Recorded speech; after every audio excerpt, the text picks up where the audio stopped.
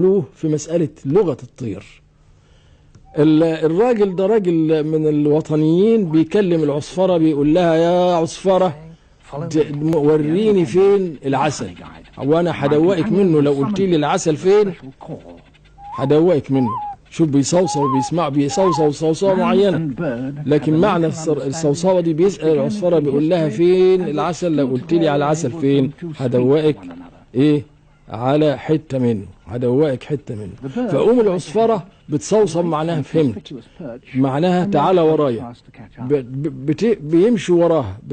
تتنقل من شجرة لشجرة. وكل ما تقف على شجرة تصفر يعني معناها تعالوا لسه ما وصلناش. فيمشوا وراها.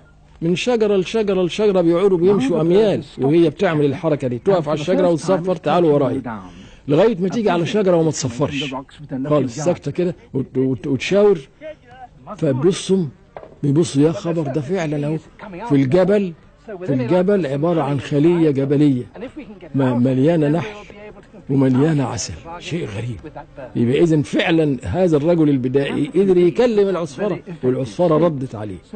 بيستعمل الدخان أهو عشان يقلل الشراسة بتاع النحل عشان يلهف إيه؟ حبة شمع وعسل. آه أهو لهف بسرعة مش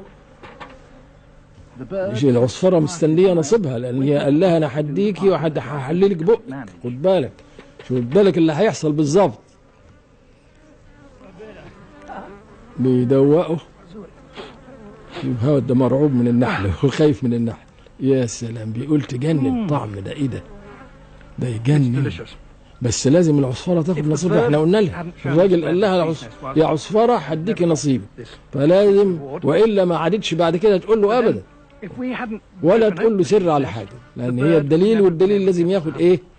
حظه نقطع حتة كده بقى ونديها إيه؟ نديها كلها ده كلها دي تستحق الخير كله العصفره العجيبة دي.